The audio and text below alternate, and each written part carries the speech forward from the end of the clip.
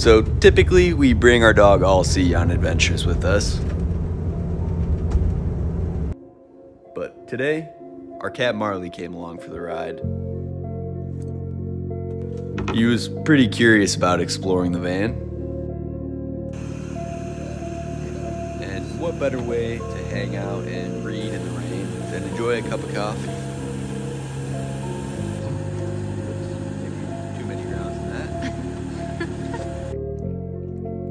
Then it was time for Marley to have a little bit of a snack. He loves these treats.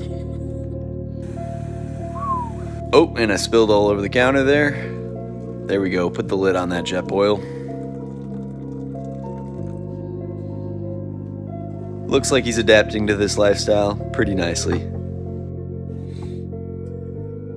We truly appreciate all of your support. I'd like to remind you to go out there and build something awesome.